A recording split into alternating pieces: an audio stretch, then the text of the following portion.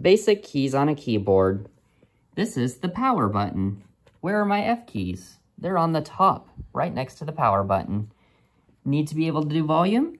There's a blue section on the F keys. Make sure you're holding the blue FN button at the same time, and it adjusts the volume.